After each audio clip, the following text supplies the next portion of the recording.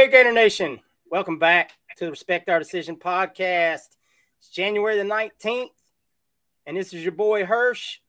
And with me, as always, is Mike. What's going on? And the hype man, Wes. What's up? Do my Josh Pate. Easy there. All right, guys.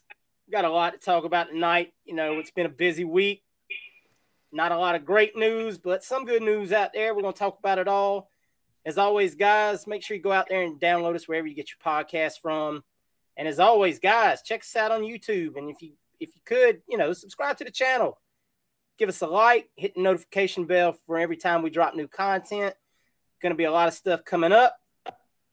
And as always, guys, if you'd like to support us as creators, check us out on our Patreon. Respect our decision. Each and every dollar we make from our Patreon goes back to make sure that this show gets better and better every week. And before we get jumping, guys, we want to just go ahead and give a big shout out to our sponsor, All Star Roof of Georgia. Guys, I know there was just a bunch of storms up there in the Georgia, Atlanta area. If y'all are looking for some roof repair, a brand new roof, or gutter repair, gutter installation, make sure you hit up our guys at allstarroofs.com. Enter promo code RESPECT100 and get $500 off a brand new roof for your house. Hey, the taxes are coming out soon, man. Get that roof fixed.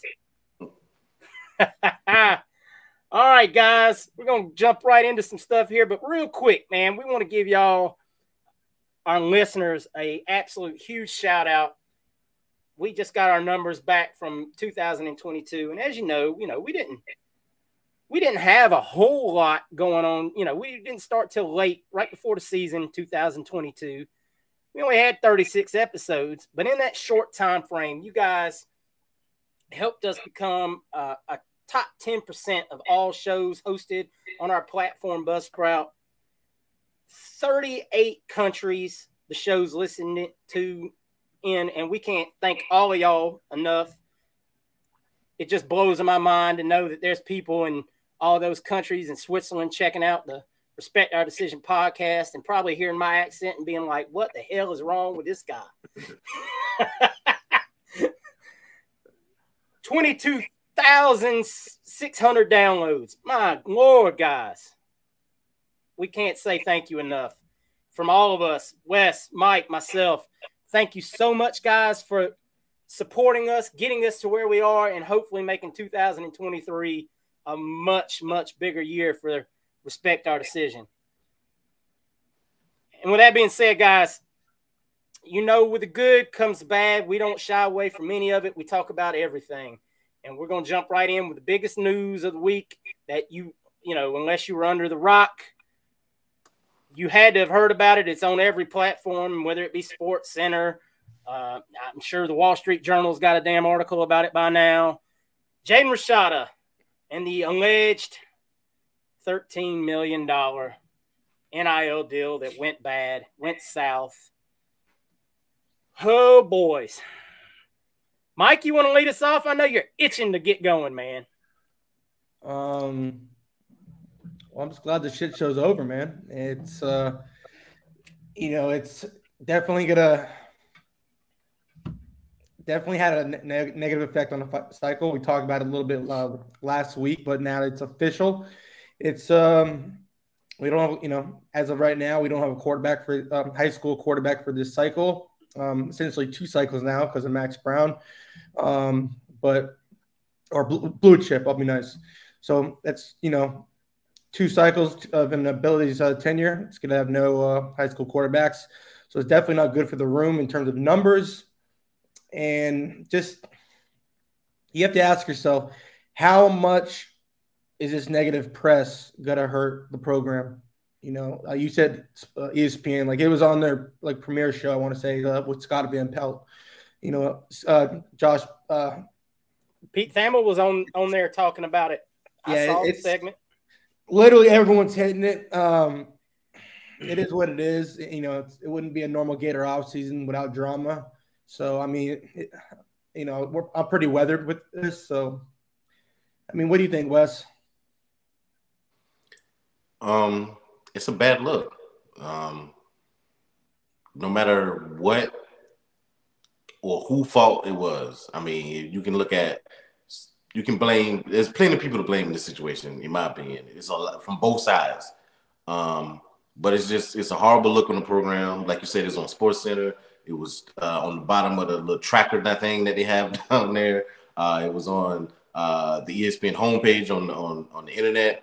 Um, it's on all the message boards. Uh, people are trolling us about it.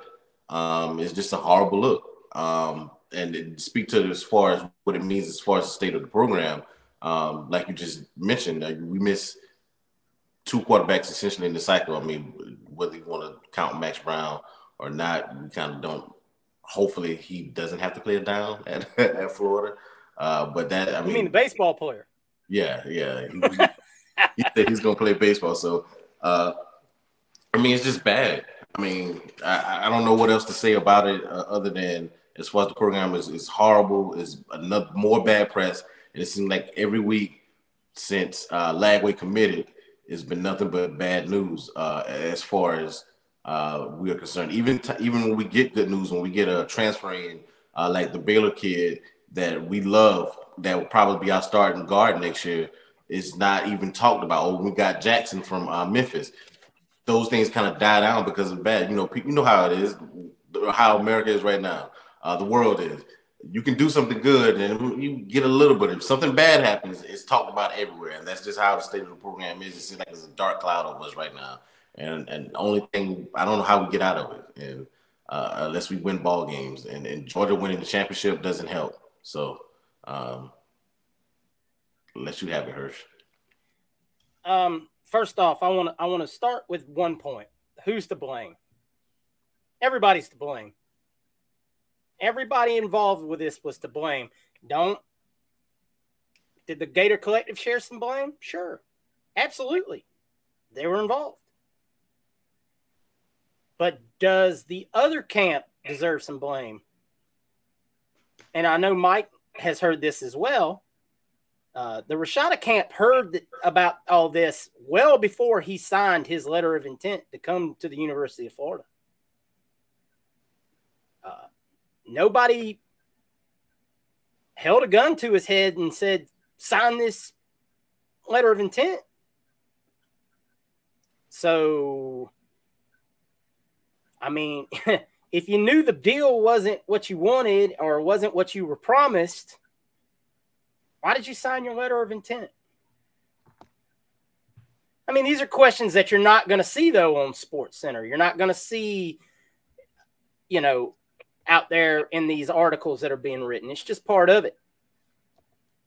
Um, so, and I'm not here to defend anybody's side. That everybody to me was that was involved in this was there was wrongdoing all the way around. I don't blame the one person I don't really blame in all this is Jaden Rashada because I believe he just wants to play football. I know a lot of people say, "Oh, the kid's greedy. He wants that much money." But you know what? I don't know, and I don't know. You know, the number thirteen million is out there. I wasn't there when the deal was agreed upon, uh, negotiated, any of that.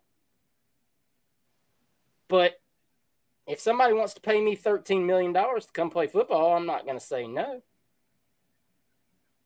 If somebody wants to pay me, if you're that kid and somebody says, I'll give you seven, eight million dollars. I'm not going to say no. I mean, Mike, you got something you wanted to add to that? Yeah. So I mean, like you, like you said, the negative negative press, like we've ruined the kid's life. Um, once again, he didn't have to sign here. There was no contract. There was no NIL deal in place. He had one on the table they're working on. It was a, for a substantial amount. So it wasn't like you know he was getting pennies.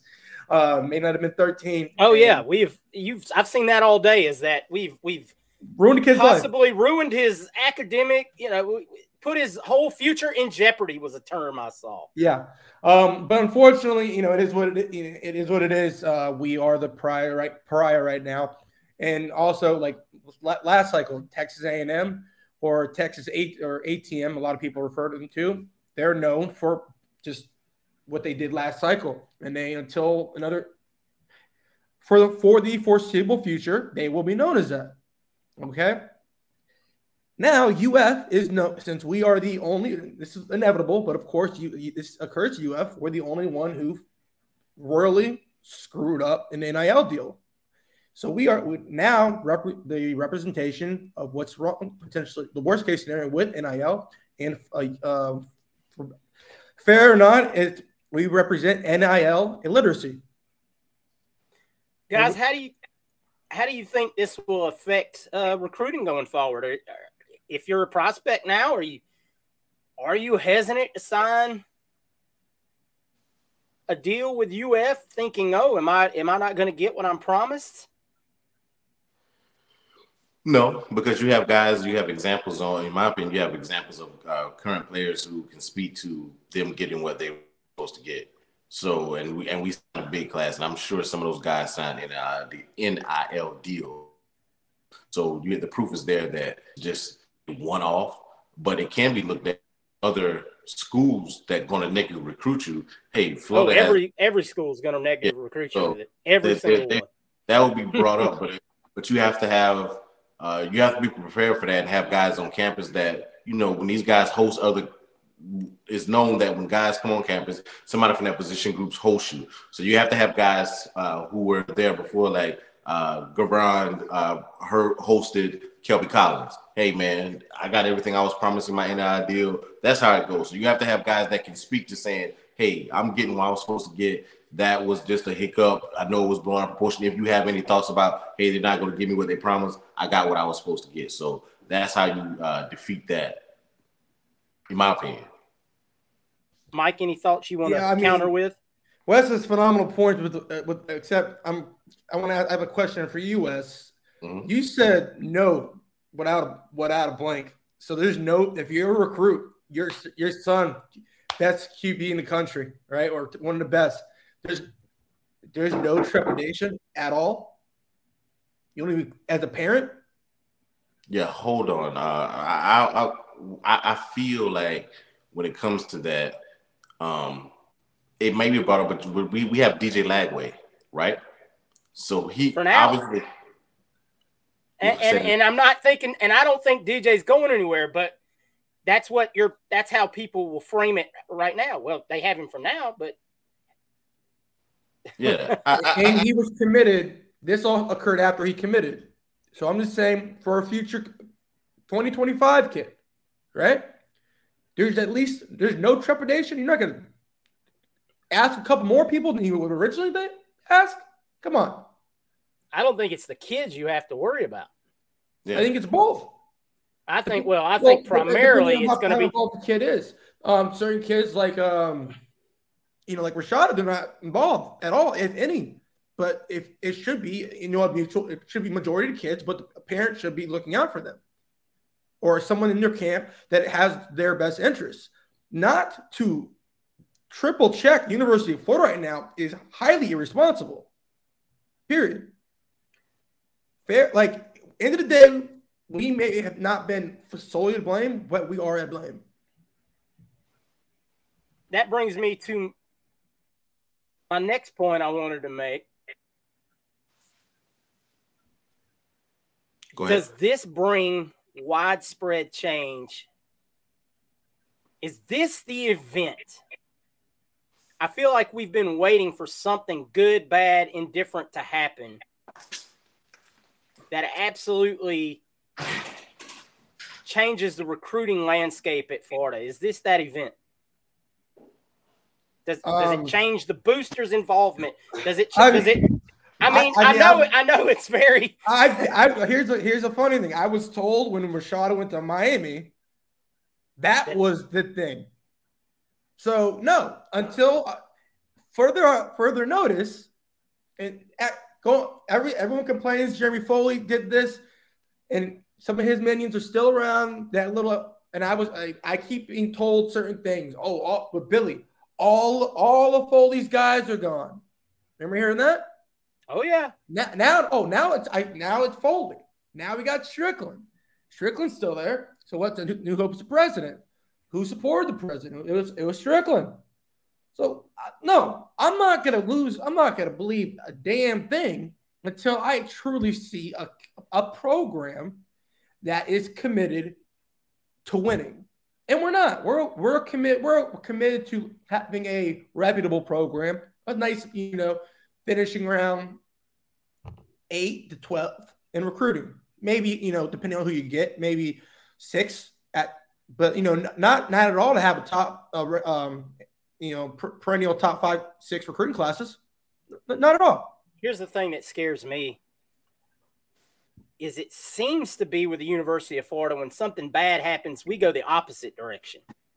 Like we shy away from whatever caused that problem. Urban Meyer's here, you have all the arrests and things like that. And and it seemed like the effect to the program with that was we stopped playing dirty. We didn't, you know, we after that we just steadily declined and we played the safe route and so, you know, we became more of a worried about our public image than we were worried about, you know, how we were perceived. And we didn't want to be perceived badly in the media like this. So does that, does that do our boosters or, you know, like you were saying, the UA, you know, and people in that nature, they're like, oh, well, God Almighty, we're, we got in trouble here. Maybe we need to shy away from this NIL stuff. It's not a good look for the program. It's going to start, it starts with the head of snake yeah. president. Period. It's just like how much does he want to like? Okay, we're at top five public school. Cool, we get it. All right, I understand. All right, I understand it's no longer as fun to party at Florida. All right, I, I have come to terms with that. Luckily, I'm old enough. Now, that being said, Stricklin's still there, so it's either gonna we're gonna wait for Billy to play his long game in terms of you know getting building a nice rebuild. foundation, which I do have faith in, or but I, I don't think true wholesale changes will occur unless he pulls every now and then what Mac did. Put the administration on blast. And did that piss them off and pretty much shut us down for till now? Yeah. But guess what? He still got his practice facility in the summer. Uh, that may be a strategy I like, Mike. Like you're gonna have. It's the only way because it works. And guess what? They're not buying out another freaking coach. Not, not, that not anytime soon. He's got at least he has all the leverage in the world. He's got two to three more years easily. No matter unless unless we go 0 and 10, 0 and 12 next year. They are not and, buying his ass out. And, and just got, to say, he's got a brand new facility. I'm gonna I'm gonna whip. I'm, I'm no. He he's got all the leverage in the world. But first, you, know, you want to talk president? about? You want to say what? uh speak since we got on that kind of t- subject. Gator Jen kind of said some stuff this week about how things kind of uh how things are going like better as far as the uh uh meeting and talking uh, with everybody. I don't know if you they were, on that. They had a meeting, um I believe it was the 16th. They had a meeting with all the important people per se and discussed the changes going forward with the collective which should be announced shortly. Uh, and I feel like we've been saying this forever, but I feel like the Rashada contract situation slowed that whole thing up due to, uh, you know, um, what I was saying. It, they had to, they couldn't transfer the contract until it was finalized. You know, it was uh, one way or another. So this goes back to what I was saying to Mike. I'm, this could be a monumental moment one way or the other. And we're all sitting here saying, you know, but Mike said it. We said this after Rashada went to Miami. Uh, we said it after Cormani went to Miami. Shout out after, to Coach after Prime Foley, after just, Foley was gone. Oh, we got a new AD. Yeah. um, just, sooner or later, our boosters, people of influence, people of importance, have either got to decide I it's want the, Florida to be great again, or I'm just cool with us being Hey Hirsch. Middle of the road. It's been decided. I don't know if it's been decided. I mean, I, why don't you just come to grips with it? No, I ain't coming to grips with nothing. You'll sleep better tonight. I sleep great, baby. I ain't got to be up for work tomorrow.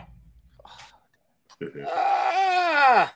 All right, guys, we're not going to keep, you know, this story's been beat to death. We know it, and we're late to the party. Um, it's just it is what it is right now. We can, you know, we can all hope that things get better from here on out, but it's a show me right now. Uh, it's always what have you done for me lately? Mike said that many times, and right now it's it's absolutely nothing. Nothing much being done except for a few things in the portal that we'll get to in a minute. But I guess it's not all bad news. I mean, we can talk about some uh, ratings increases that took place this week on our friends at On Three. On Three did a rankings adjustment this week, and just just a couple of the highlights I wanted to, to share. Is it, is, it a, is, is it a coincidence that there was a mass Gator exodus? Look, you don't talk about that, all right? That's not why. I don't. I don't care. I, I wouldn't. I'm not complaining. They're not doing themselves any favors getting us back by all this Rashada stuff that they're running either. But uh, just a couple of highlights. Hey, on three gave the Gators a five star. Eugene Wilson, number 32 in the country on on three's newest and probably last rankings of the cycle. Hey, get with the program. Every other recruiting site on the you know Eugene Wilson, while he may not be a five star player, I'm not saying he is or isn't. We've we've hit on him all year. You know, if you've listened to the show, he's the prospect I'm most excited about. The kid's going to be phenomenal, I believe, and he's crimi- criminally underrated on almost every site. So props on three for that. You got that one right. Another guy that has just seen a meteoric rise since he signed with Florida or, or committed to Florida, Jakeem Jackson, all the way up to number 40 on on three. And hey, guess what? That makes him the number one DB in the state of Florida, according to on three, has Cormani and Ricks dropped below him. Ooh, hey, thanks for the bragging rights and some, you know, I would say that was a uh, a decent eval. Yeah, Corey Raymond's washed. I heard. You know, hey.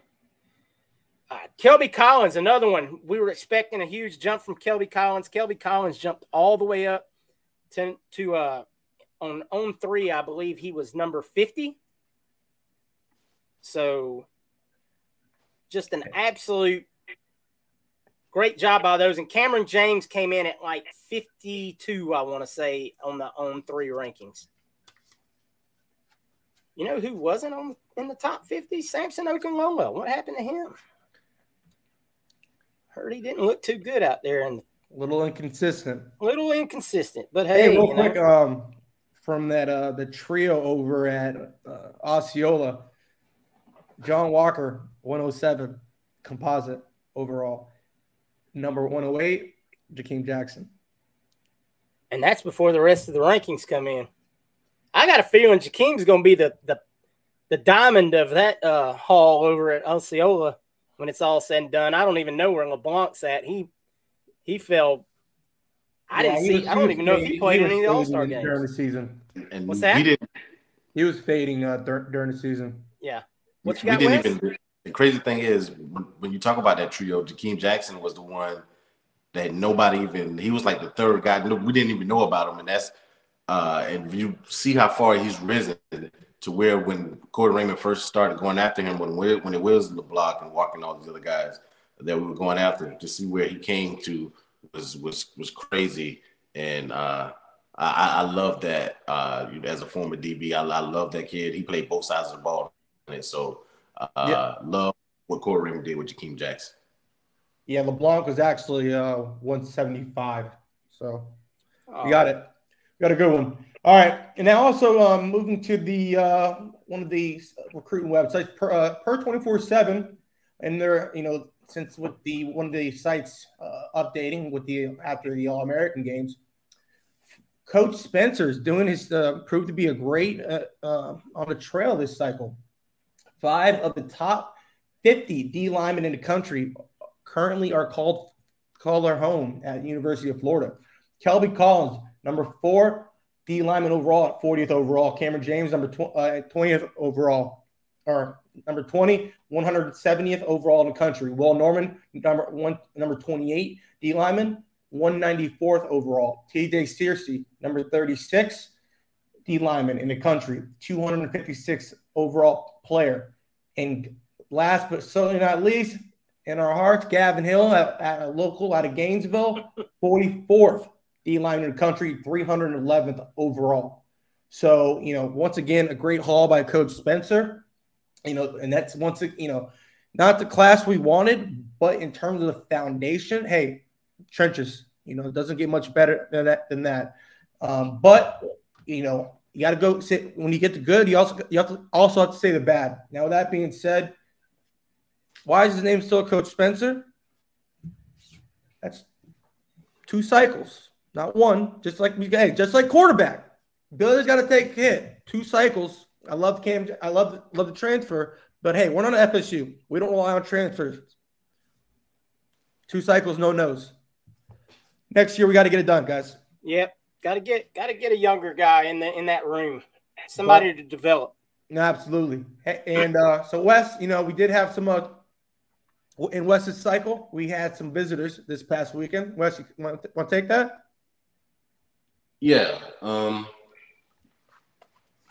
coming up weekend. For this for this coming weekend, uh, we have yep.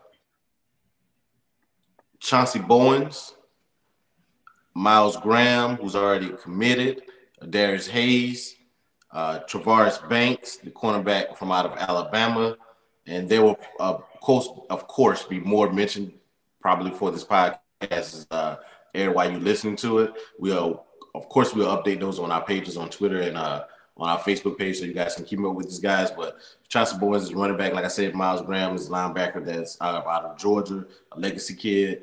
Darius Hayes, uh, I love time that. to get that one closed up, man. Yeah, yeah that's I was about to say. Uh, Graham has been personally recruiting Hayes himself, so good to have Graham there while Hayes is there. Um, so uh, I, I, think Myles Graham will probably be one of the guys that, uh, with Lagway, he might be the leader of the defense as far as recruiting, like how Treon Webb, how we bragged about Treon Webb recruiting. Uh, I think that's that would be Myles Graham as far as the defense is concerned because Lagway is doing this thing on offense too. I see him saying stuff to every kid that's visiting and getting off of Florida. So those two are going to be two great leaders in the class, and I'm hoping that you know they can get a top three class like we all think we should have here at Florida. I think, you know, it's going to back off Wes off the maybe. I think the top five is there, but I don't. I don't think we we could say you know given um, unfortunately, given what happened with the, I mean, what, tell me what you think, guys. But I don't think we can, even with Lagway and uh, you got Lagway Graham. I don't think we can, you know, set, act like oh, top three or bust. I can say top five or bust. I, I, I, I'm, I'm not saying a bust. If I, I think we can get, I think we can get the top three. Top five is, is to me is the floor. So my ceiling well, like one. Three one factor that has to be considered, and I didn't, we didn't even include this, is the uh, uh, Rushing's older brother transferred from the program this week, so that is going to make his recruitment a lot harder. Not great, Bob. Not great. Now, of course, you know his father. Great, what's that? You know what is great? What's that? What state is uh Travaris Banks from? Alabama could stuff him in a locker again, is what you're saying. I, think. I mean, listen, Nicholas. All right. I mean, it's not target acquired yet, but um, we're gonna get one out of there. I mean, Hugh Freeze up there, but it's all right. Yeah. So, and of course, next weekend, guys, we got a huge junior day as contact period starts to to ramp back up. Um, DJ Lagway is going to be in town doing a little recruiting of his own for this junior day. Don't have names listed yet, but I'm sure it's going to be a big deal, and that'll be something we cover on next week's episode. So make sure you tune in, see who's going to be in town for the following weekend. Time to start jumping on that 24 class, get some names in. I'd really like to see the boys go ahead and shut this Darius Haynes thing down this weekend. Get us some good news on the board. It's it's it's needed. Yes. We need some positives. It's time to you know, perception is everything. And right now, perception is not high. Not high. So, All right, guys, we're going to move on down the road from recruiting. That wraps it up for the week.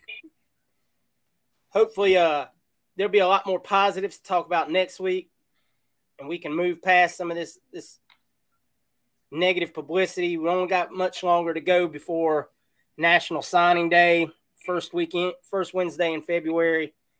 I don't know if we're going to add any more guys this cycle or not. If we hear any names, we'll be sure to let you know. So, guys, we're going to jump on in. It's Portal Mania time, baby. Hey, Portal Mania. I'm going to do something I hate. What did you guys? How would you feel about the Twins out of Orlando with linebackers? Two blue chips. Um, I don't foresee it happening because they're, re- they're the last I heard is they were reevaluating them. Here's my thing with that is I think they want the better of the two and not both. And the room is whether people want to admit it out loud right now, the room has gotten a lot fuller with the additions of Mitchell, Spurlock. When we got Deuce, that said a lot. Yeah. And Robinson in the class. So I think you're kind of at a place where, like, you know, is is it? He's not. These these these are two kids that are not going to play anytime soon. So, and they're too good to be to come here just, you know, they could go to a smaller school, I'm sure. I know Maryland was a school that was trending for them where they probably could see the, you know, the field faster.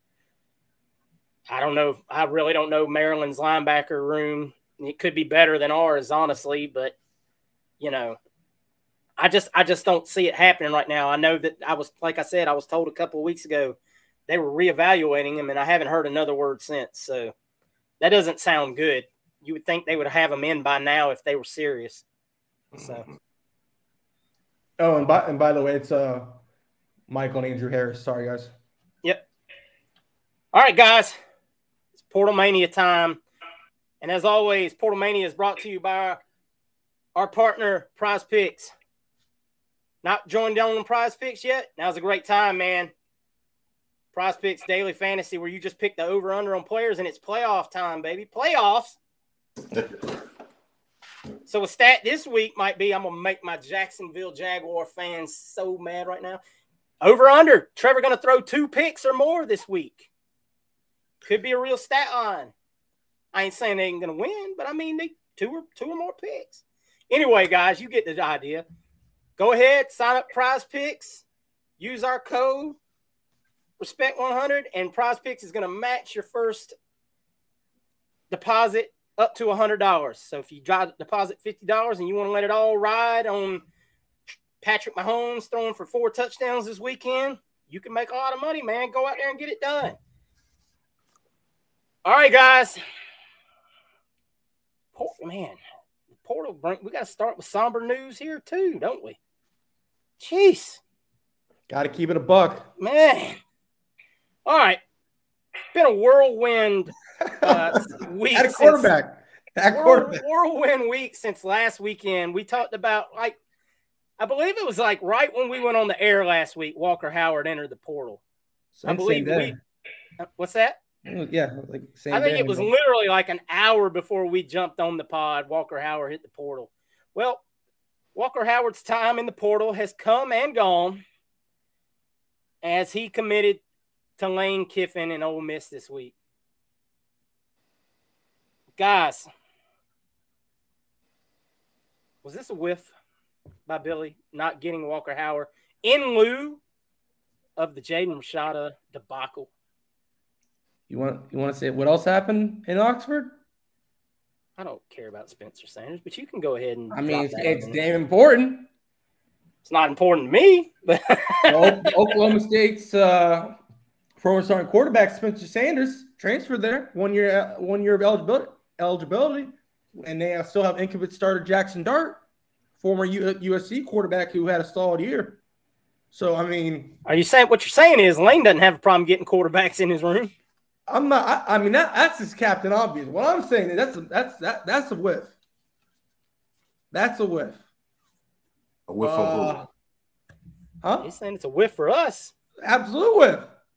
See our so what is what did what does Spencer Sanders have to do with that? He's got one year eligibility. So he didn't. Uh, he mean, committed after Walker. He's come to be a third stringer. Walker Howard ain't touching the field this year. I'm I'm confused. I'm I'm I'm I'm, I'm not understanding how you correlate. Instead of let's just say worst case, he's going to come here compete with Mertz, come truly compete, right? Mm-hmm. Would you agree? You would have competed with Mertz? Mm-hmm. Okay, so, so now he's committing. He's. I got you. Go ahead, Mike. So now he's he's not going to beat out Spencer. He's not going to beat out Dart. Okay, that's the first thing. 2nd mm-hmm. thing is now there's all now he has zero chance because there's another quarterback as well, Sanders. But he, didn't, didn't come, come, there under. He didn't come there. He didn't come there until after Walker committed. So the rumors were out there. The rumors were out there before that, though. I mean, like, if I knew, if I heard smoke, I mean, come on, Walker Howard's there. The bottom line is, Jack Miller's the only other quarterback, really. You know, and that's if you're Walker Howard, you're just looking at Mertz. That's the bottom line. And you you like, all right, mate. Worst case, you know, I'll you know sit a year and I'm a starter next year. That wasn't good enough for him. That's a win. And, and let's and let's add in two other factors. One, Billy had a prior relationship with a young man. He was the first coach to offer him a scholarship. Silent commit. Two, we sent Rob Sale to his house. Now, I know some people out there being like, well, we sent the offensive line coach. Why does that matter? Rob Sale has a tremendous relationship with the family. So that's why he went. Now, the reason you send Rob Sale first is you can't send Billy. You, you know, you save that, you gauge the interest, and then you send Billy for a second trip to close it out. Or, you know, you, you obviously have the kid come for a visit.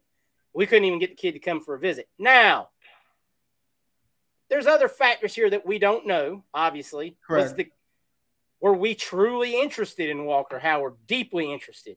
Because just sending Rob Sale to me kind of is like, uh, you know, because I would think if you're truly interested, you send the posse or you send at least two or three out there to gauge to try to get that visit. Two, did Walker Howard want to come to Florida? Did he want to come to Florida last cycle? The two schools, the only, and the only reason I asked this is the two schools he visited was TCU and Ole Miss, not very far from home. He went to TCU with no coordinator. Last cycle, he was willing to come to University of Florida. What changed? I don't know because he didn't want to originally go to LSU at all. I think he kind of felt. That's what I'm saying. He was, he was silent to Florida. Oh. We have the same staff. There's rumors out there that I know it was posted on 247, of course, that the Howards kind of got butt hurt when they first called the gauge interest that we told them we weren't really interested at first because of the Rashada situation.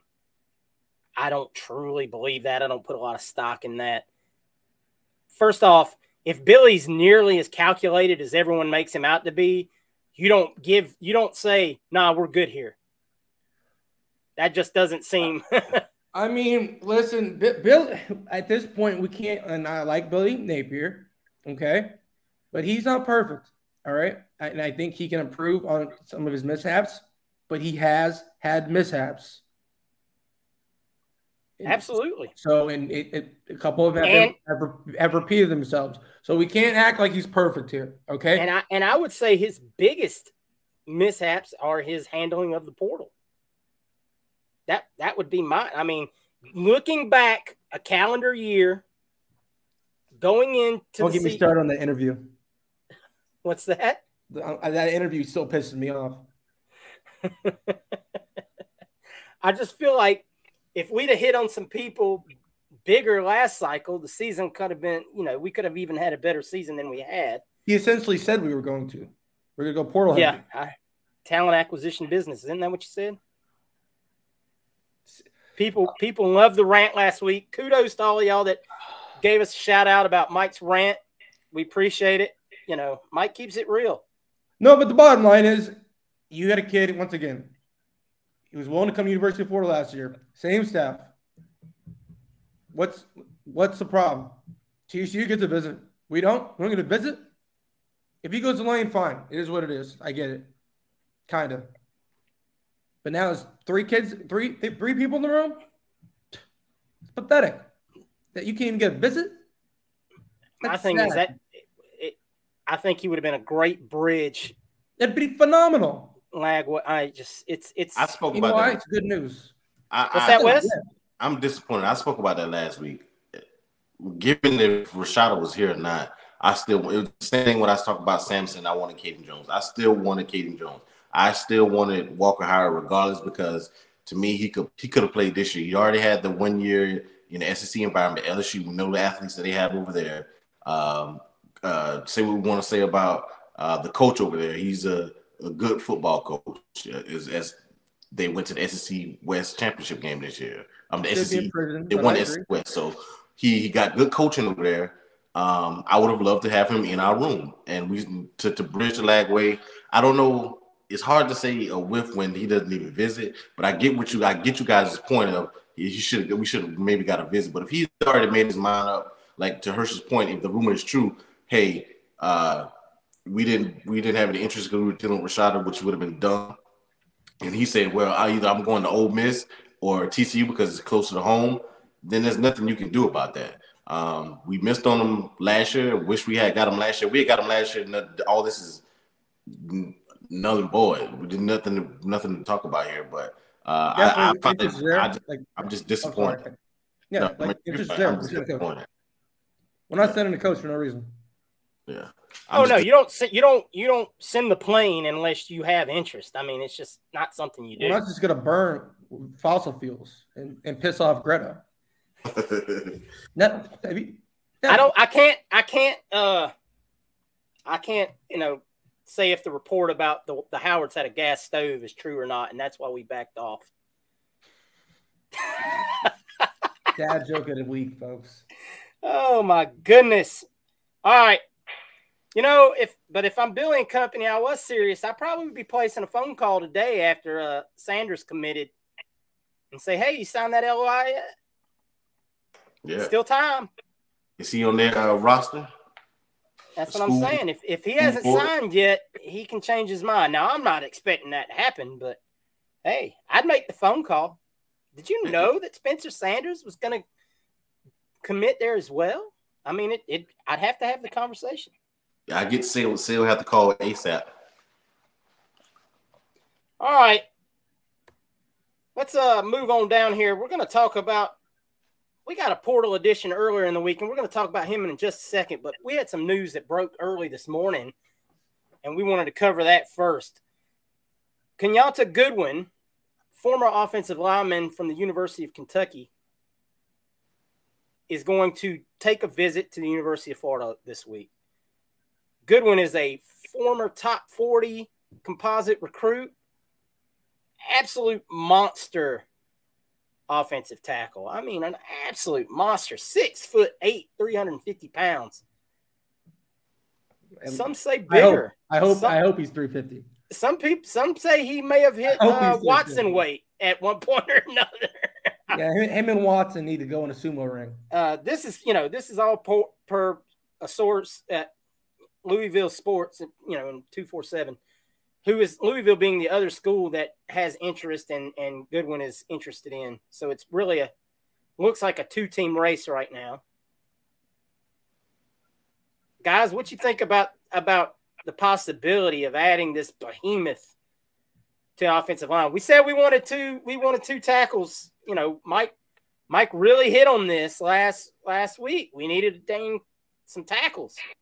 Um sounds well, like they heard you. Um I wouldn't like just like you know shoo away Louisville. He's already committed. He, he committed to Kentucky. He was uh, top number thirty three prospect overall, like you know as you're alluding to pre- previously. So and he's um, still in Kentucky and he's an Indiana native. So he obviously likes the, that region. So, but if we can pull him, uh, as if you're good enough for uh, for the trenches in, at Kentucky, you're good enough for me because they know how to evaluate.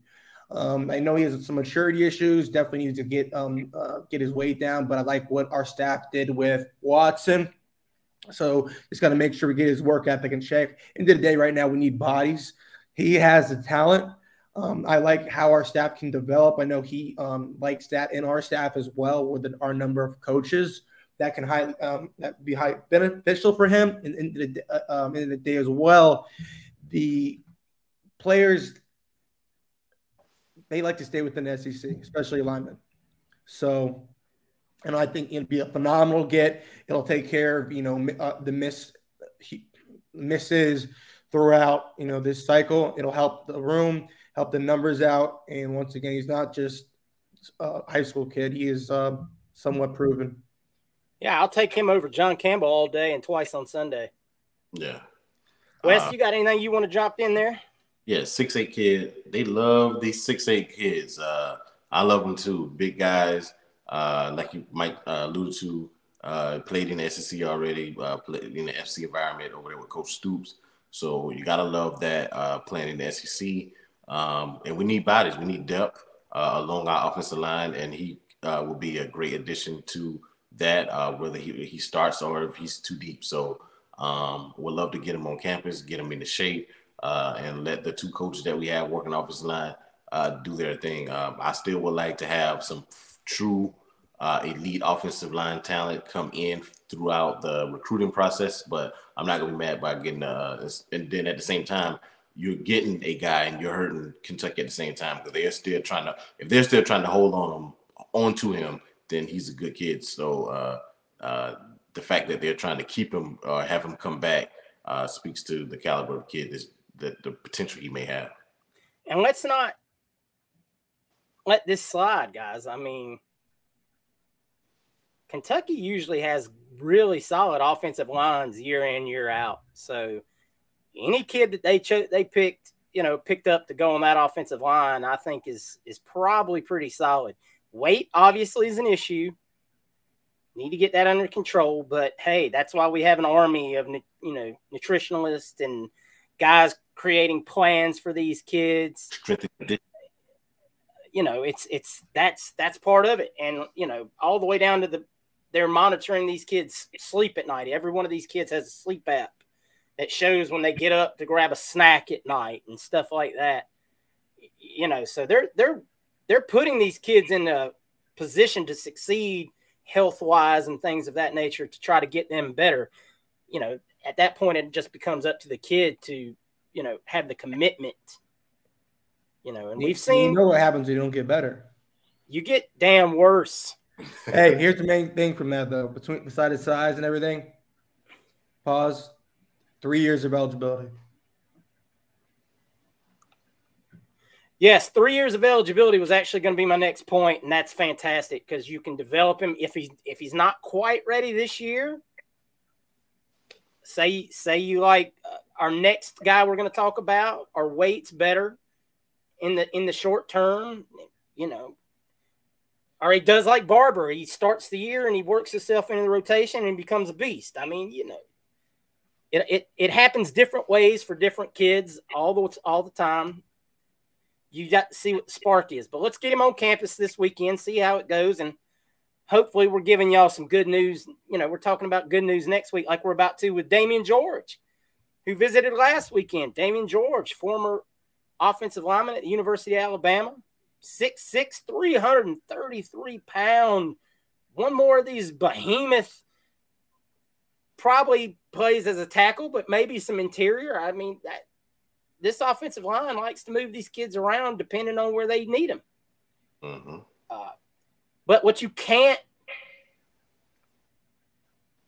you know, diminish in this is that he has starting experience in the SEC for Alabama uh, that alone tells you the kid's played in meaningful games.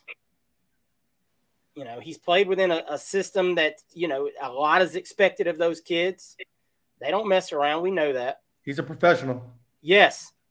He's a professional. He brings his lunch pail. He, he brings his lunch pail and his hard hat to work. Yeah. 18, 19 year old starting, starting Bama. I don't care for how many games. You, you, yeah. you, you, you, you came to play. He started. Yeah, he played in 2021, he played in 12 games with Alabama, made three starts, and had a PFF grade of 65.0, which is obviously a very respectable grade. It's not O'Cyrus Torrence grade, but there are very few guys that are. I believe Torrence grades graded in the 80s.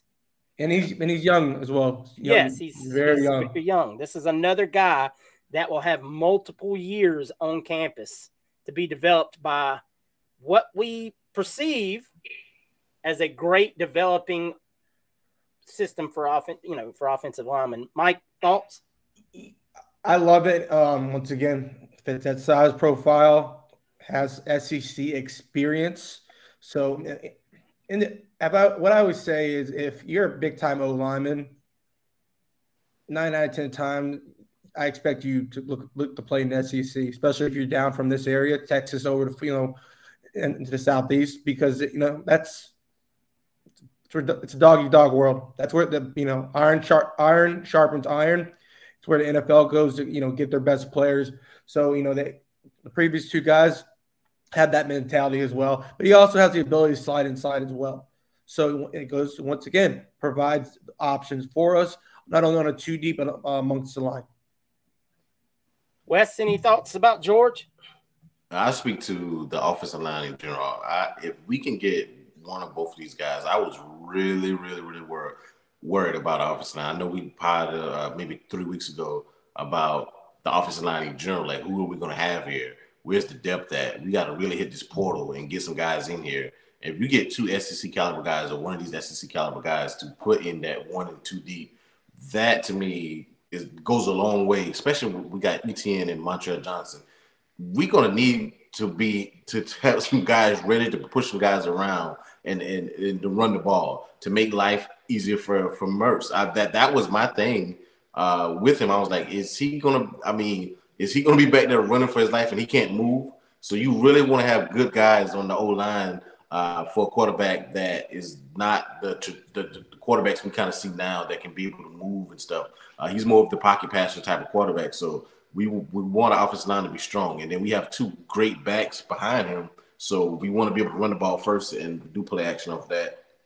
And it starts up front, uh, especially in the SEC. SEC is all about the trenches, and if you can't protect, uh, there's no good. There's no reason to have two running backs or a quarterback that can throw the ball if they're on their back and they get hit in the backfield. As good as our running backs are with contact, because I believe Montrell and Etienne are good uh, after first contact. I still don't want to be seeing seeing them hitting in the backfield. All right, guys, I want to po- pose pose a question to you both. After if if Goodwin commits, let's say even if Goodwin doesn't commit, Billy's promise going into year one was he wanted to rebuild the trenches. Between the class and the transfer portal, with the additions already of George, Mazzccua, Banks, Watts, uh, Watts is it Waits? Wait, no, not well. Waits is one. I'm thinking of the nose tackle. Jackson. Too many Jackson. Thank you. Too many kids to remember at once. Have they rebuilt these trenches to your liking? No. Okay. I mean, that man didn't even it, have to it, think. It can be good. Uh, they've done a good, a respectable job, but it, once again, what's this goes to what we were saying throughout the season with like I'm saying Anthony Richardson, who's having respectable numbers, respectable games. Like the Tennessee game was amazing, but like then having off games just goes to what what is your what is the Gator standard to you? People say it all the time. I know what I expect from the program because I know when it's full go, what we can. I'm expecting top three to five classes annually. Yep. Let me let me ask. Let me pose this to you then can they change your mind with their play on the field this season? I mean, of course. I mean, okay. You that, I mean, that's and I mean, because I'm saying you're you're also depending on a lot of transfers to plug important needs here. So that's right. Kids, yeah. No, yeah. When I got when we got George, I was I said, oh, cool, we got Plan F. I'm serious though. I mean, because you can roll your eyes, Wes. What's so my, my question, my question is, my question, my, uh, my, my, question, my, the reason why I roll my eyes, my question is a few moments ago, this for you and hers. You, you, guys said that you wanted him to hit the portal. So if you hit the portal and you get these and you get these two SEC guys for the offensive line, say you get both of them, Kentucky and Alabama, and you get these two guys who played SEC ball from two programs that you love from trenches. How is that not solidifying? Are you getting Goodwin right now? If you are you contacting Goodwin if you have Sampson? Yes or no? But that's not the question. Yeah, I just made the question. But here's I'll, I'll argue this though. Are you counting on Sampson to start next year? I think he would have been plugged into it too. Well, we just said he's very been very inconsistent just in All Star games. I understand. I, once again, I understand that, but and they maybe would have, you know, had a guy, uh, George, for, for example, to ease him in. But what I'm saying is, you, you're we're going to we're going to backup options at this point. I can still be happy with if with what they're getting, but end of the day, why Goodwin is not performing as a top 40 kid right now or top 50 kid. He's not. That's why he's transferring. So, top 50 kid he was starting pick, arguably day one. To piggyback off to piggyback off what Hirsch said, which side of the trenches are you guys more worried about then? O line. I'm, I'm worried. I'd agree with that. I'd agree with that right tackle. now. I have no, I have no blue chip tackles. Simmons, with. Okay, Atkins a good, good recruiter, and oh, we got Kearney. I got a guard. Who's my center? I have one. I have one guard. Oh, you preach to the choir, so I'm good. No, so, so, oh, good. No, and I and so like that's what I'm saying. I'll, I'll, at the, in the cycle, I was willing to truly evaluate it, and I don't. I need my six six guys with skinny ankles, man. I don't have them. gotcha, gotcha, man. All right, all right. Bottom hey, line, though. Hey, we're and we're all and entitled should... to that opinion, and and like I said, that's why I shifted it also to could they change your mind on the field?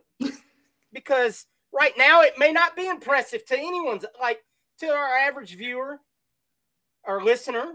They may be like they may totally agree with Mike. They may hear that and be like, "No, I'm not impressed with it at all." We're taking guys that are transferring, and a lot of people's mindsets about transfers are they weren't good enough to hack it at their first school.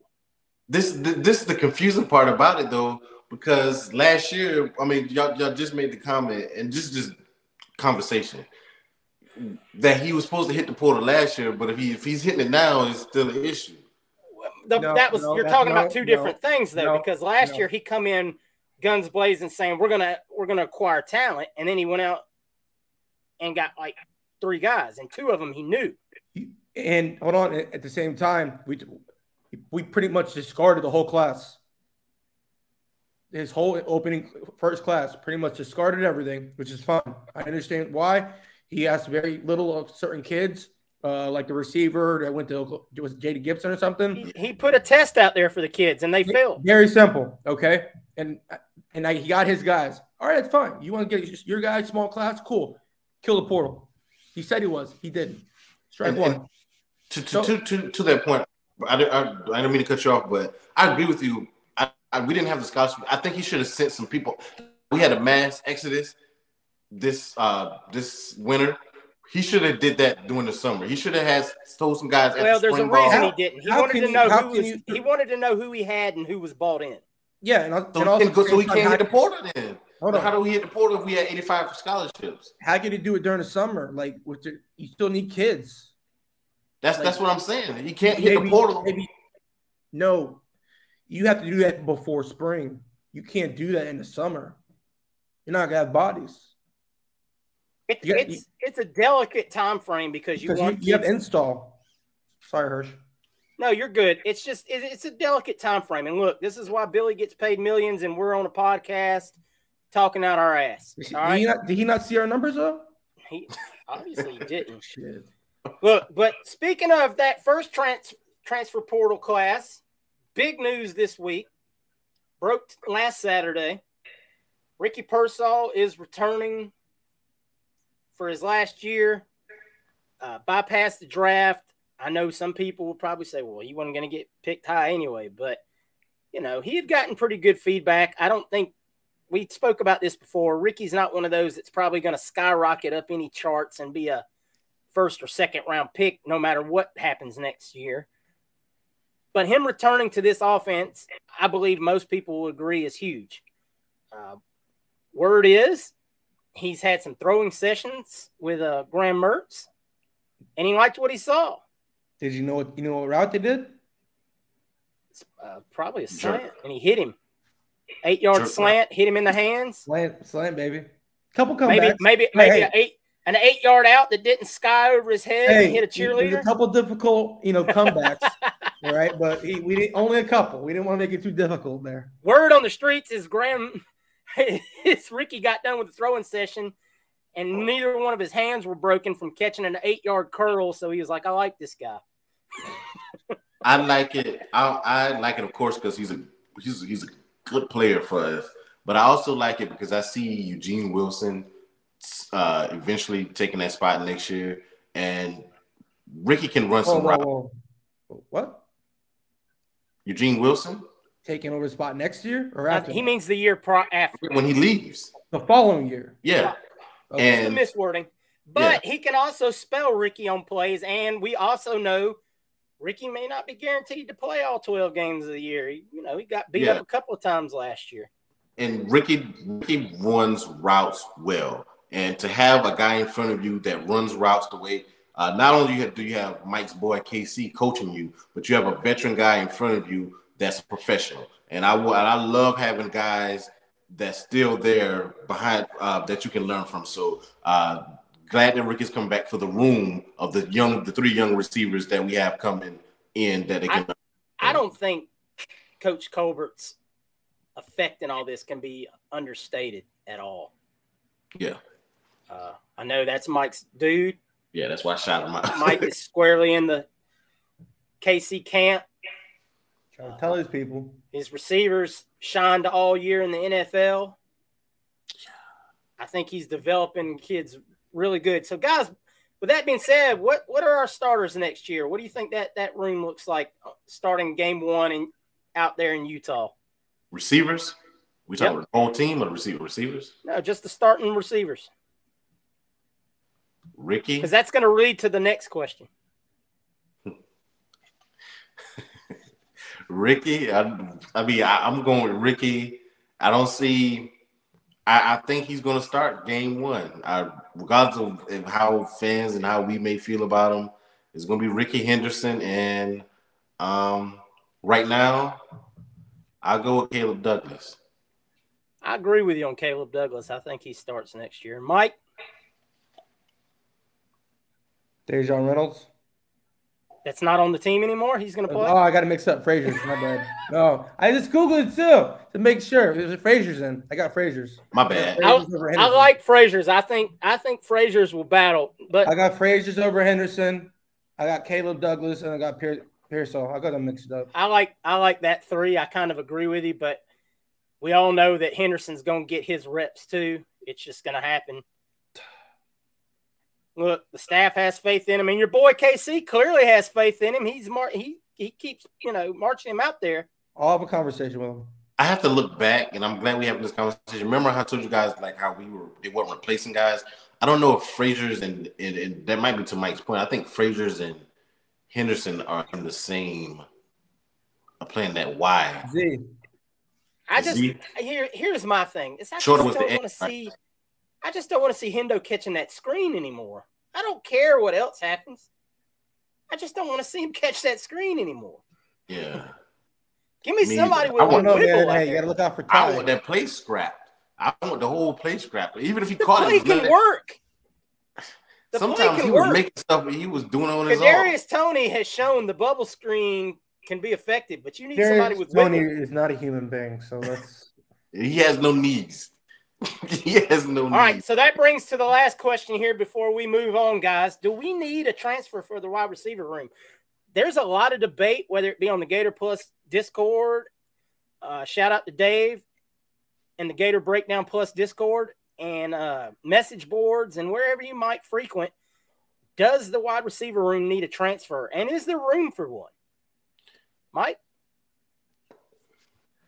Yes, they need one. I don't think they'll take one due to the the amount of people in the room, and we're gonna, you know, they're gonna be uh, running a lot of two tight end sets. So, Wes, what are your thoughts? Um, I don't want to take a guy just for the sake of taking a guy. We have some just a guy. We have some Jags that are on the roster now. Um, oh, took Mike's word. so, Please, I, brother, cite your sources, MLA style or something. Jesus, I would prefer if it's if it's an elite guy. Somebody, if it's a true X type receiver, then you take them. But if it's no true X's or somebody that uh, can stretch the defense, like kind of Shorter was that guy for us last year. and we have don't have a guy that can run a four three four four guy that can get down the field, then no. We already have an X, and he catches all the screen passes. all right, guys. It's always food for thought. A lot of time for things for decisions to be made, but the hard cap on transfers enrolling to be eligible for spring is the 23rd. So this weekend is probably going to be all she wrote for early entry, early enrollment transfers that can be playing in spring ball. So I wouldn't expect us to add probably more than one more guy.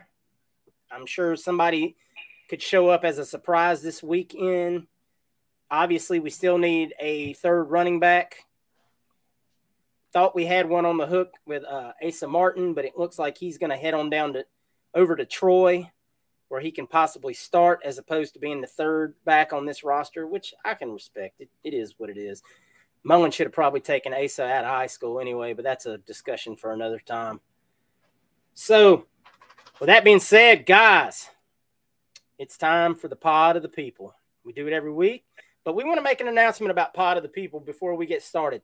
Starting next week, pod of the people is going to be a YouTube exclusive video content.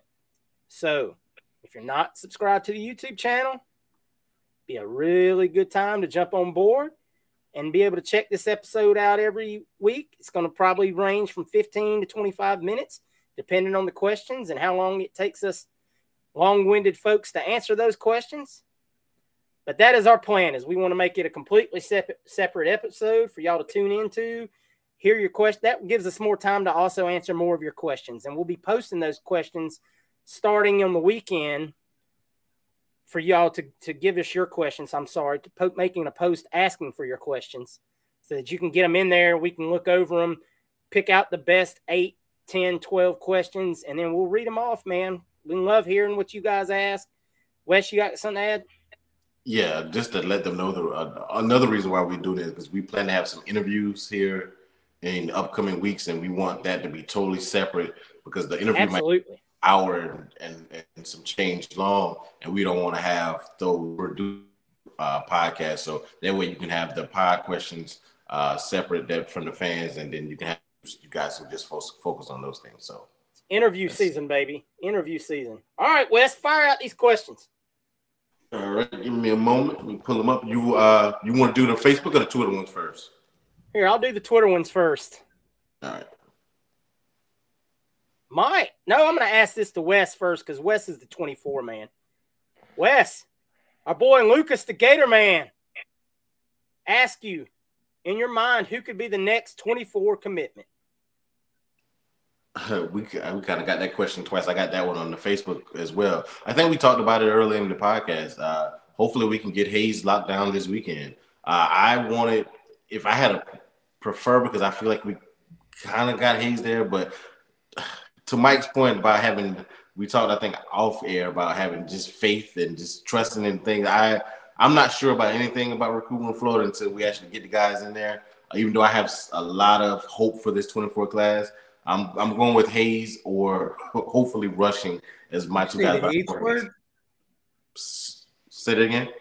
You said the yeah, H word. hope. Knowing oh. West been hyping this 24 class oh, since, he, oh, since man. he knew the names.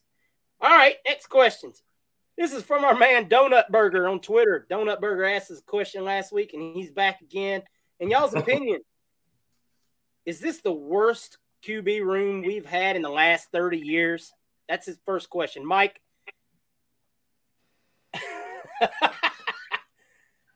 Look at the pain on the man's face. No. No, yet. I don't yes. believe it is either. Yes, it is. The other one would have been um, Del Rio Appleby's Zaire. That was all one room, right? Yeah, you had Franks and Trask in that room too. They were freshmen. That they were in the room as well. Mm-hmm. It's got to be worse then. Thanks, brother.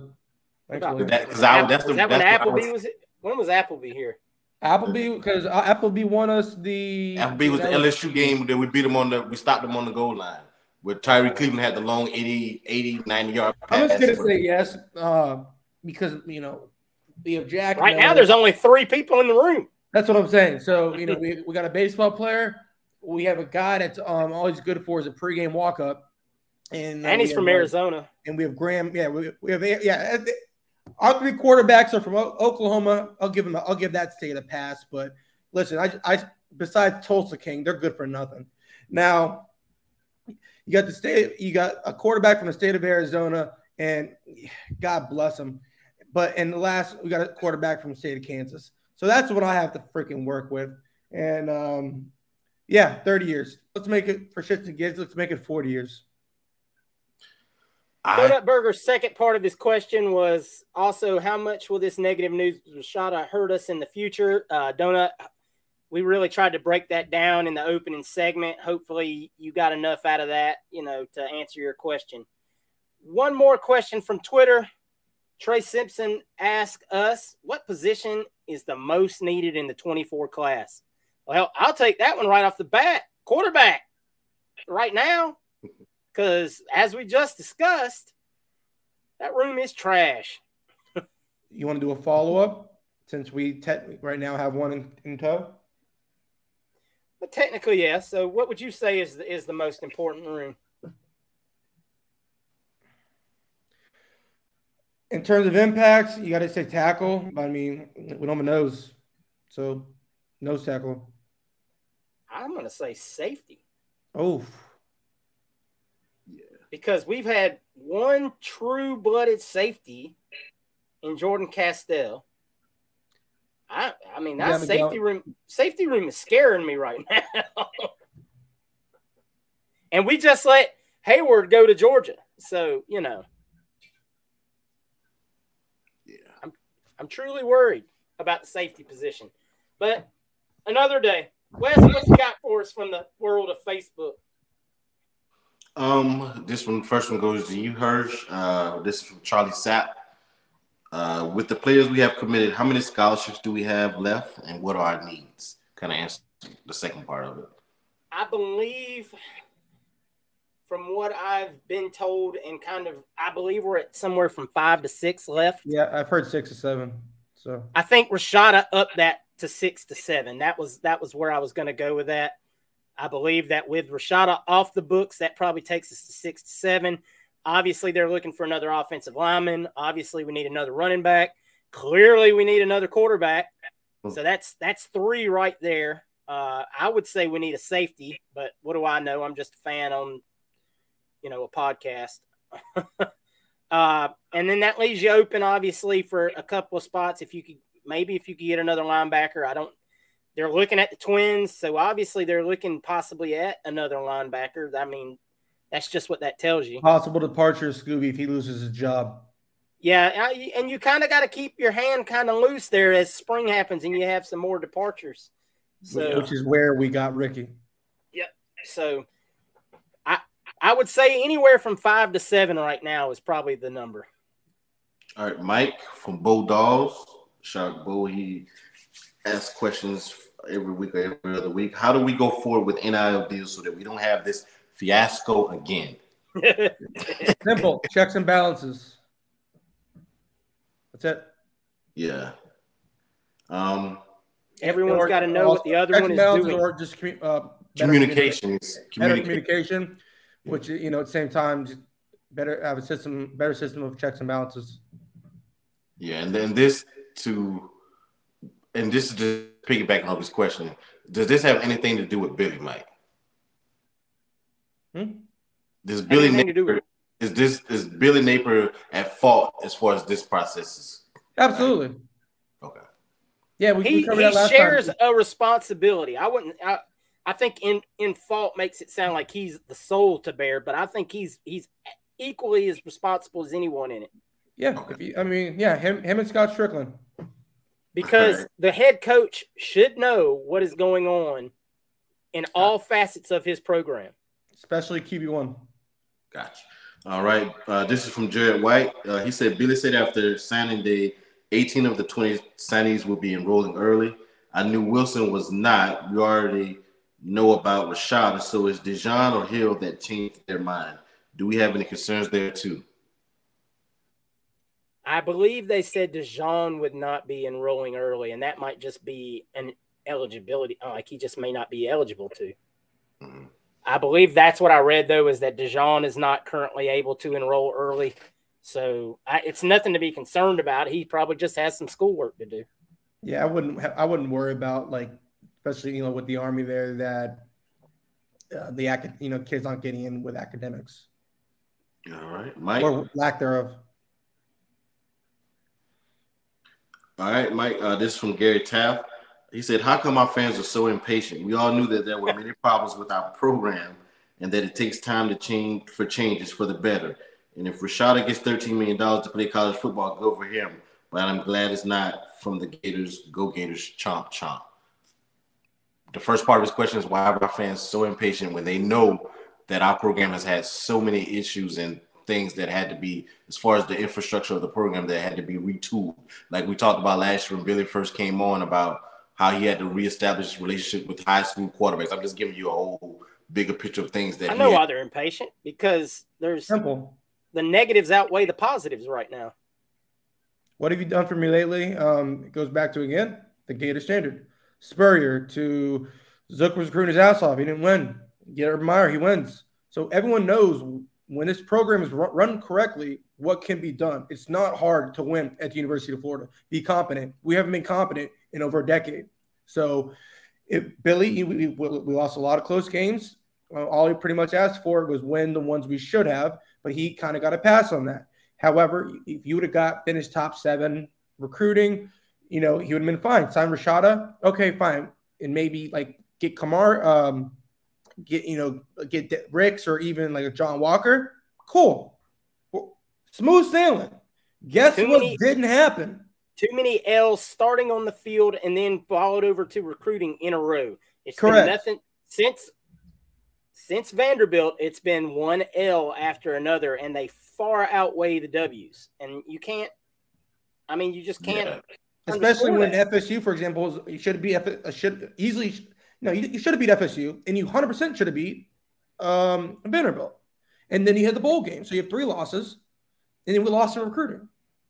And yeah. then you follow it all up with this Rashada incident, the which, Wizards. which whether whatever is true and what is not true, whatever, it makes us look on the surface as completely incompetent. Yeah, like Mike, this Mike said this, and it hurts you. You I added on to not close it this way. The coin flip games are the coin flip games, but certain battles, and I'll give a recruiting battle, and I'll give a game Vanderbilt, you have to win. John Walker, you have to win. Case closed. There's other things. Ricks, Bama, he went to Bama. Okay, that's Bama. Florida State, they had a decent year. We should have won coin flip game. Not big, not mad at it because it's a coin flip game. It's year one. You got to beat Vanderbilt. You got to get John Walker. But that's, you have I'll to. Leave it at those two. But you also have to sit there and say FSU was the last rival game after you lost to every other rival in the season so That's- your mindset is you lose that game, coin flip or not, you lost to every rival in the season. Yeah. I was just what, how how'd that bowl game look? We, disinterested. And and how it and here's the thing, whether you're being smart about it or not, it looked horrible, and that's all you take away from it is 30 to 3.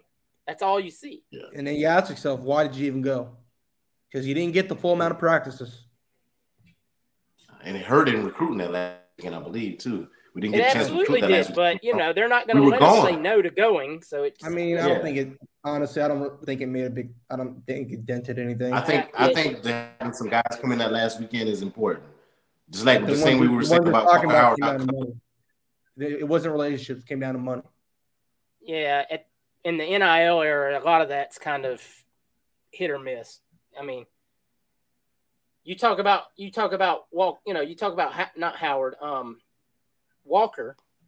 I mean, the kid visited five times and you still couldn't close that deal out. So, I mean, I'm not putting my eggs in Next a basket of getting the last visit with Sampson wouldn't change anything. Ricks, we wouldn't didn't change anything. Walker didn't change anything. So I mean, like, who are we gonna get? Next question. This is another from Charles Sapp. Uh, to you, Hirsch, any truth to the rumor of Lagway that he might reclassify? There is noise out there. I don't really put any stock into that noise right yeah, now. Don't comment on that smoke. Uh, it could be just fan, you know, generated. Oh well, we don't have anybody. I wish we could get DJ to re- reclassify. I, I need to hear something from a verified source before I put any, you know, stock into that. All right, Mike. Where do we pivot to now for quarterback now that Rashad is gone and Howard is committed to Ole Miss? What are your thoughts on Jake Garcia? No. no. Oh, I know where this is going, baby. That's why I say that Mike. Jake Garcia is awful. No go with Garcia, Mike. Jake Garcia is awful with football. His final um, commits. Uh, a lot of people didn't want to look, take. They just look at his ranking, but his final offers we're going to Arkansas, FSU with Miami, but this was before Pittman, you know, proved that he could, you know, do his thing. So he had a horrible final offer list. He proved to be a horrible quarterback. Jacurri Brown's a better quarterback than him. Jacurri Brown shouldn't be playing football until year three to four. So he, he, now, Jake Garcia is not a Power Five starting quarterback. All right. So you got your answer there. I saved that one for Mike. God no. I, Jesus Christ and to, to, to let you guys know, they don't know the questions I'm going to ask them, so they're just this is top of the top of the dome for them. I knew as soon as I heard it where that one was going. I'm surprised, All right, um, I am surprised they know after I heard it. Gar. This is from Kyle McCullen. Hurst. Uh, why do Florida fans? Well, excuse me. Why do why did Florida fire a winning coach for who couldn't recruit for a losing coach uh, who who coached six and seven record that also can't recruit? Okay, first off, Dan, let's let's start at the very. Let's go back in time. Dan Mullen not being able to recruit was one thing. Dan Mullen lost this team in a way that almost I have never seen before. Uh, you had players being able to do whatever they want, openly smoke weed and other things in the locker room in the team hotel. He was openly searching for other jobs.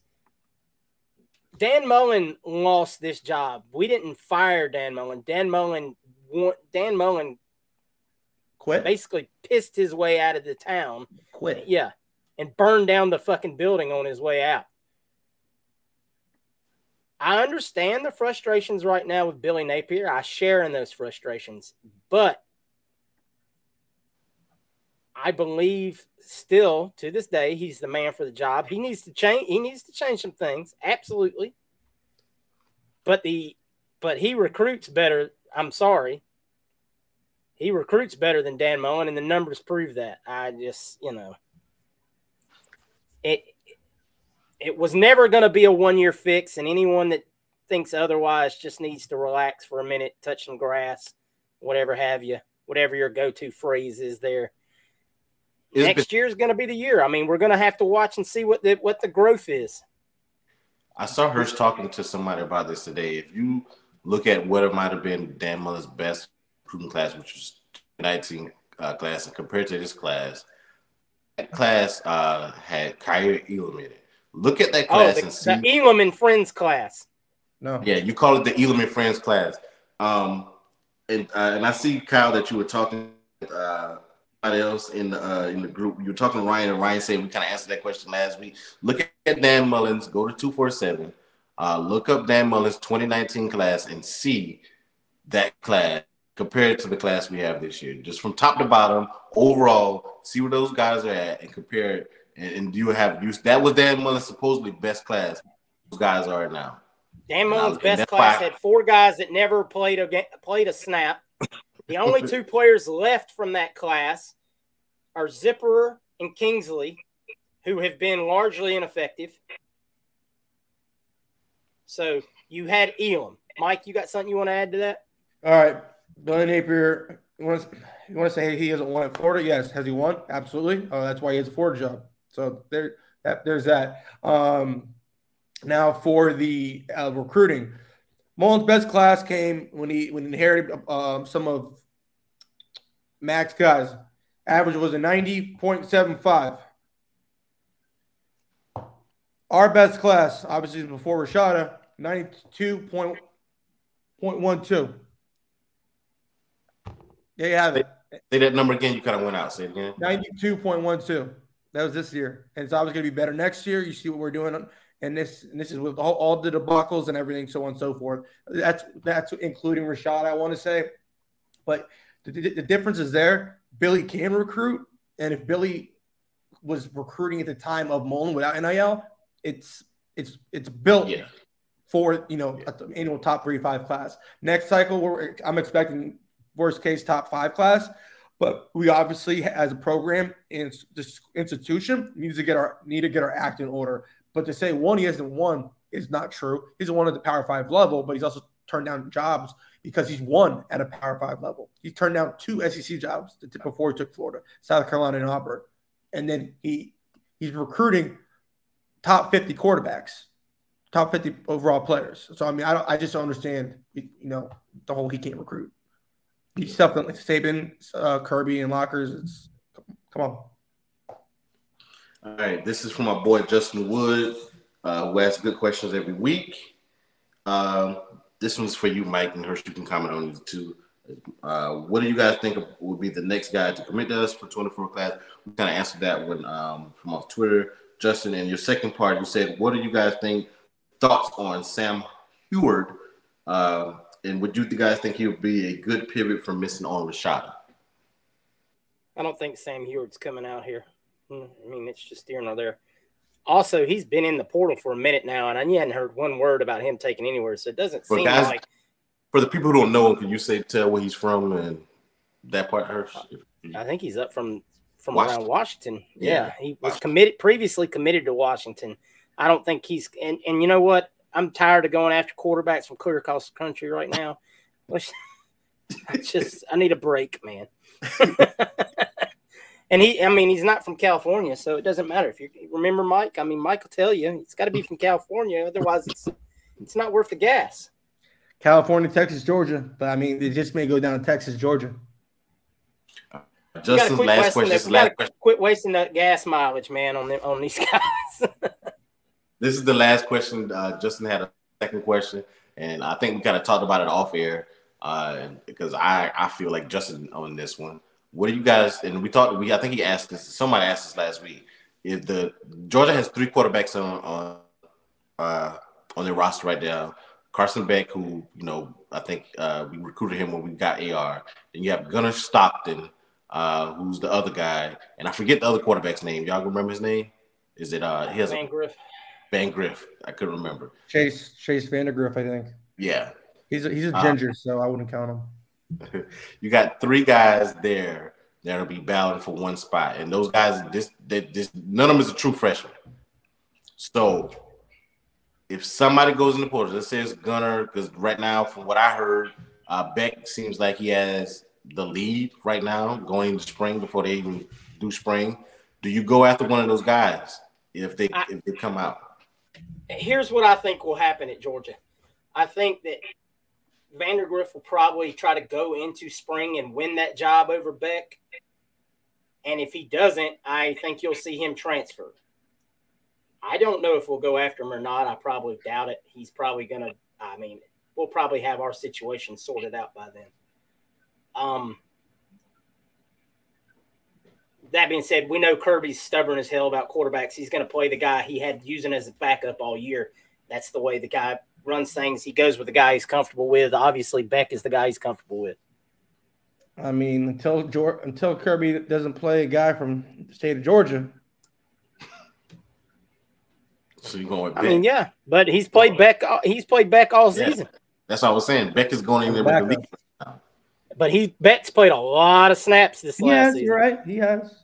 And and looked very effective in those snaps. Well, granted, they're in blowouts. I hope if he, listen, if he, if he, plays either a guy with cankles or or a, jet, a redhead, I'm all for it. Okay. And this is what he he's a redshirt junior, so he's been there four years. So yeah, and, and and Kirby, we know Kirby's stubborn about his quarterbacks, but hey, I mean the dude's won two championships. Right now, I can't much criticize anything the dude does. It's yeah.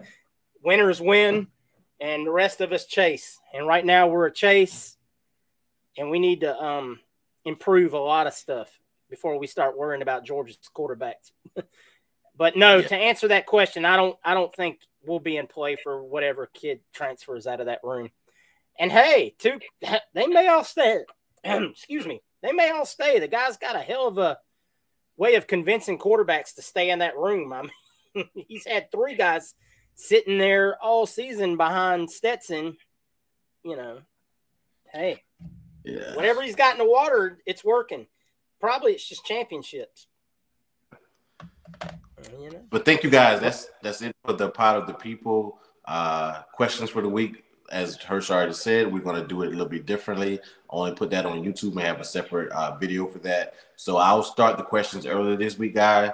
This week, guys. I'll start Saturday and I'll uh, share it again uh, during the week uh, again, so we can get as many as we can comb through, and that way we can do a lot of research into some of the, the other questions that you guys have that need a, uh, more in-depth answers. Uh, so we'll do that for you guys as well. So look out for that uh, on our Twitter and our Facebook page as we uh, start the pod of the people uh, separate YouTube video.